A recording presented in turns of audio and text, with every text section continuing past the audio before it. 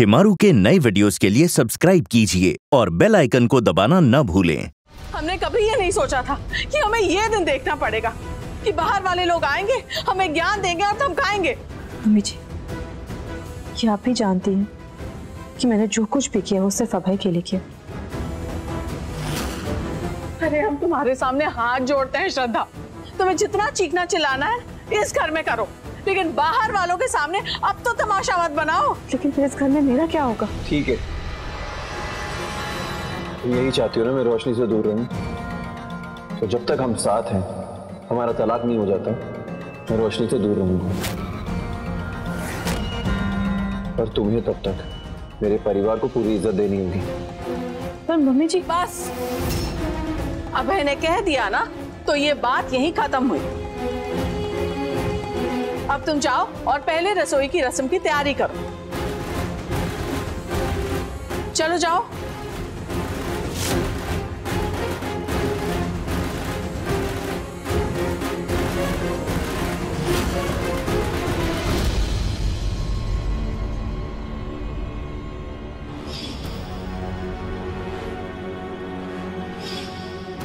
क्या हुआ कीर्ति? क्या सोच रहे हो? क्या हुआ तुम? तुम इतनी परेशान क्यों? वरुण जी हमें ना कुछ ठीक नहीं लग रहा। जितना हम अपनी बहन को जानते हैं।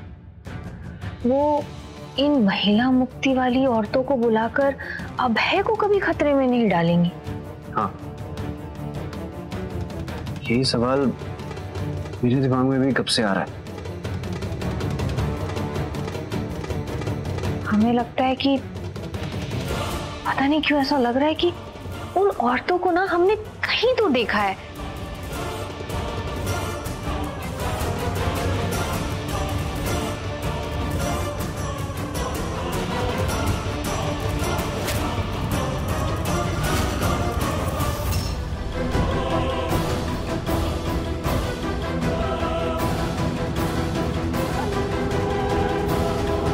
अब देखना, श्रद्धा।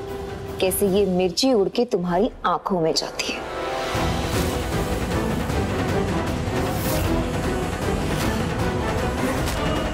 बहुत घमंड है ना तुम्हें अपने पत्नी होने का? और मुझे इस बात की मिर्ची लगाने का। अब जैसे ही तुम अपनी पहली रसोई करने आओगी ना, मैं ये फ़ैन ऑन कर दूँगी। अब फिर सारी मिर्ची दलेगी तुम्हारी आँखों में, और तुम्हारी आँखें ऐसे जलेंगी जिसे तुम दोबारा मेरे अभय पर अपनी नज़र नहीं डाल पाओगी।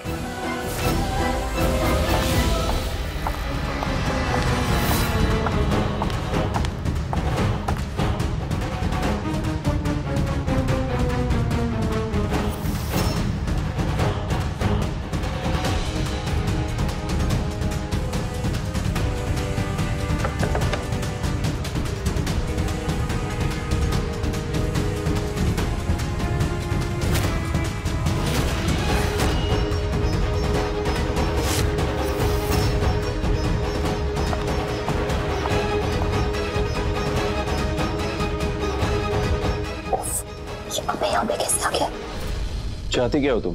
क्यों सबको परेशान करके रखा है तुमने? क्यों? मैं क्या परेशान कर रही हूँ आपको? तुम नहीं कर रही हो तो और कौन कर रहा है? धोखे से मुझसे शादी की। ये जानते हुए भी कि मैं रोशनी से प्यार करता हूँ। फिर ये महिला मुक्ति वालों को घर ले आई तुम? ये जानते हुए भी कि रोशनी को इस घर में मैं लेकर आया हूँ। अब तुम ये भी जानती हो कि रोशनी और मैं एक दूसरे से प्यार करते हैं। और हज़ार बार मैं भी आपको कह चुकी हूँ कि मैं आपकी पत्नी हूँ और मैं आपको छोड़कर कहीं नहीं जाने वाली। नहीं छोड़ूँगी मैं आपको। तुम हज़ार बार कह लो या ये चाकू से मार लो मुझे। तुम ज़बरदस्ती मेरा मन नहीं बदल सकती हो। कब मारा मैंने आपको? इरादे तो तुम्हारे यही लग रहे हैं।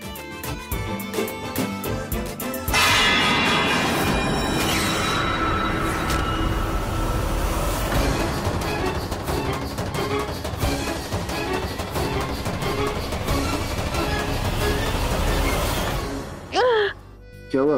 लगता है थोड़ी मिर्ची मेरी आँखों में चली गई। पानी फेंकना पड़ेगा आ जाओ।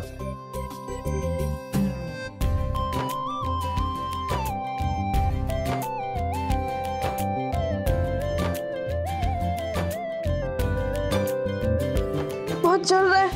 दिखाओ रुक जाओ दो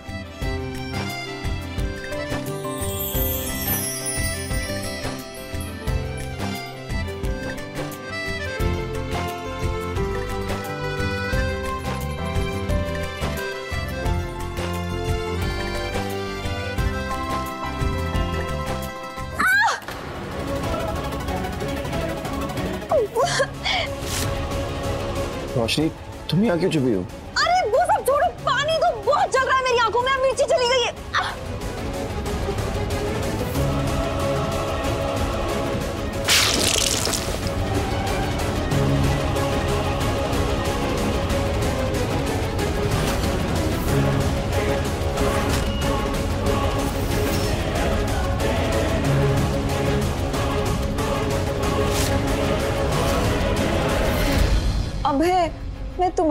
यहाँ खाना बनाने आई थी। और फिर पीछे से श्रद्धा आ गई और मैं मैं छुप गई। ताकि इसे ऐसा ना लगे कि मैं इसकी पहली रसोई खराब कर रही हूँ। और ये फिर से महिला मुक्ति और पुलिस को बुला लेगी। क्यों? पुलिस को बाहर से बुलाने की क्या ज़रूरत है? जब पुलिस वाले घर में ही है। तुम्हें तो उसके बारे में अच्छे से पता होगा ना? तुम्हारी सहेली जो बन गई है वो इन दिनों?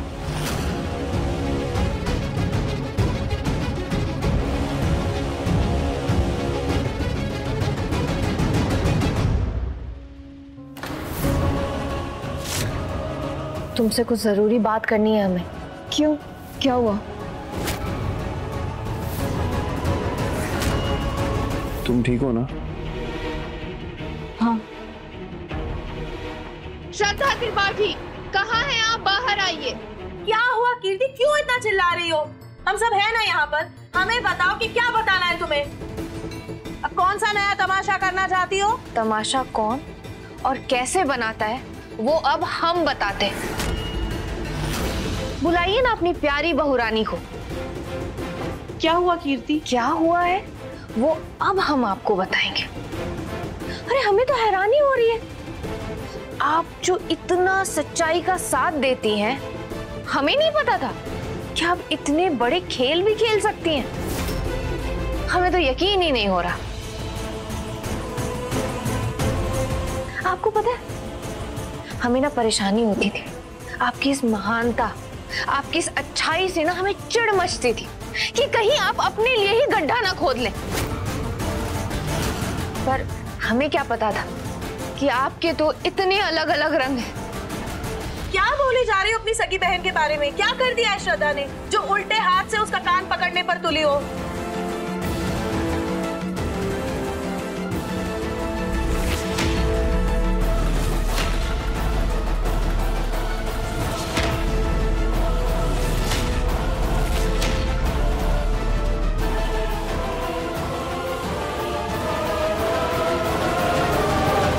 वही महिला मुक्ति वाली औरतें हैं ना, जो आज सुबह घर पर आकर इतना तमाशा कर की गई। आप बताएँगी? या अभी भी चुप रहेंगी? ठीक है, आप मत बताइए। हम ही बता देते हैं। ये कोई महिला मुक्ति वाली औरतें नहीं है। ये सारी औरतें इनके क्लाउड किचन में काम करती थी।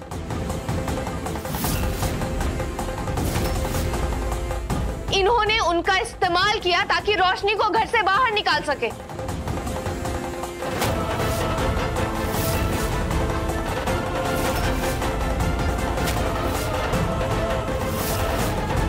ये आपके बारे में बोल रही हैं? आप ये भी कर सकती हैं?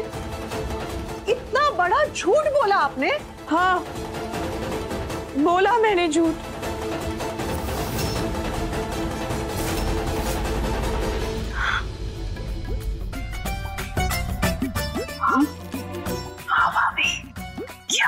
है। हमारी श्रद्धा तो अलग ही रचनात्मक होती जा रही है। ठीक है रही हमें लगता है इसे समझ में आ गया है कि जब की सीधी होने से नहीं निकले ना तो उल्टे ही कर लेना चाहिए। हाँ।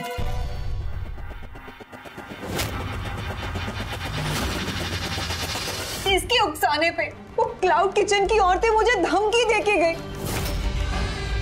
पता नहीं न जाने कल ये अपने गुंडों को भेजकर मुझे अगवा भी करवा